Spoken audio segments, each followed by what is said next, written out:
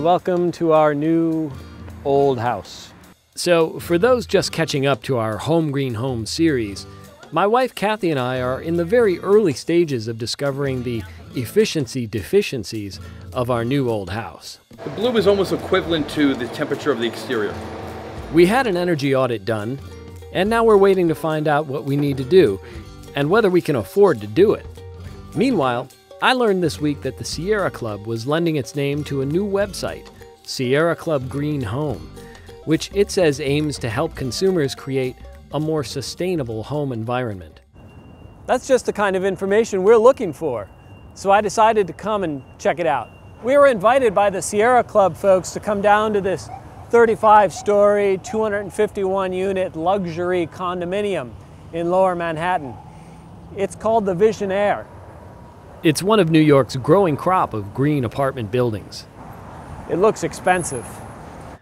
It boasts some pretty nice views, along with features like solar panels built right into the facade. These panels uh, are wrapped all the way around the, the They're building. the whole way around the building, so as the sun moves around, it's getting all the energy from the sun.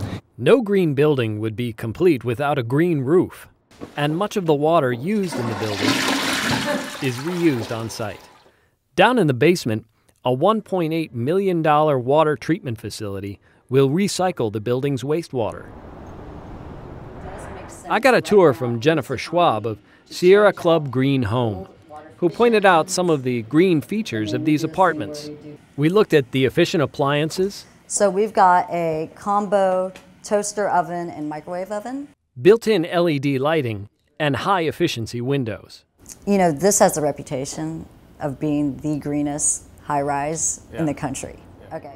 The Visionaire might be cutting edge green, but at $1,300 a square foot, it isn't cheap. For example, this is a wool rug, which pure wool, wool is recyclable and is actually. And I began to wonder if I could afford to do any of this in my own home. So I asked Jennifer what an ordinary consumer like me could do. Well, I kind of have a joke because I have an acronym and it's CRAWL. Buy CFLs. You, you place your conventional light bulbs with CFLs. That's C. Okay? R, recycle. That's R. A, air seal. You can do this yourself. Seal up your windows, doors, and yeah, all the air leaks. Then W, water reduction. Okay? Turn off the tap while you're brushing your teeth. You can also reduce your energy uh, footprint through lighting. Turn off your lights when you leave the room. Very simple. You do those five things, as does the rest of America, we're going somewhere.